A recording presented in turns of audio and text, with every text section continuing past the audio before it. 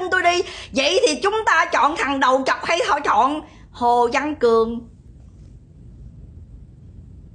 Quý vị nói cho tôi nghe đi, chúng ta sẽ chọn thằng đầu chọc hay chọn thằng hồ văn cường?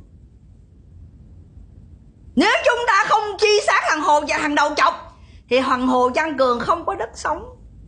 Là bởi vì toàn bộ sân khấu mà được lên là từ cái thằng đầu chọc này và một cái đám ca sĩ này, chúng ta có còn cần nó nữa không?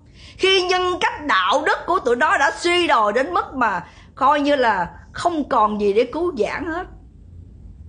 Một đám nghệ sĩ tụi mày xúm nhau đi chửi đứa con nít, đi rủa một đứa con nít vô ơn.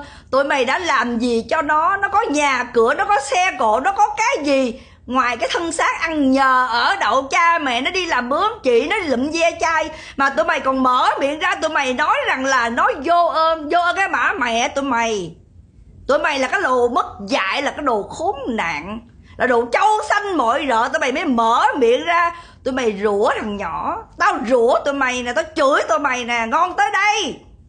Tao đập cho bỏ mẹ tụi bay luôn. Cho chừa cái tật. Ăn đằng sống nói đằng gió. Sống không có đạo lý. Không hợp lý. Mà lên giọng dạy đời ai vậy? Xin lỗi quý vị nha, hôm nay tôi điên lắm đó quý vị.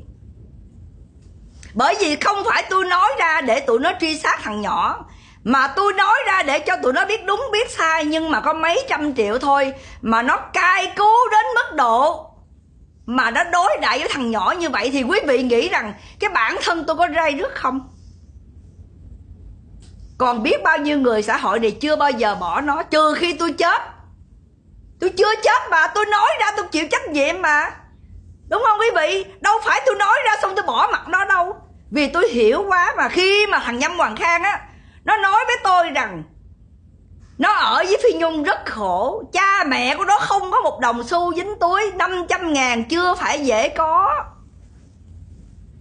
Nếu quý vị không tin tôi, quý vị hãy nhờ làm sao mà cho công an mời nó lên, khuyến khích cho nó khai ra hết đi thì quý vị sẽ thấy rằng nó đang sống trong địa ngục trần gian.